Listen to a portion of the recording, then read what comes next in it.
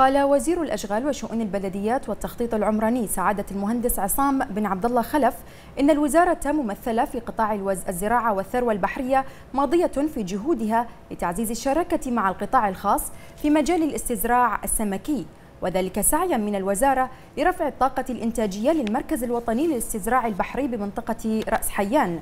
وخلال زيارة إلى المركز اطلع الوزير على الوضع العام لحالة المرافق التابعة للمركز وذلك لأهمية تجهيزها وصيانتها في الوقت المناسب تمهيدا لموسم الاستزراع القادم والذي سيتم فيه رفع الطاقة الإنتاجية للمركز بالشراكة مع القطاع الخاص.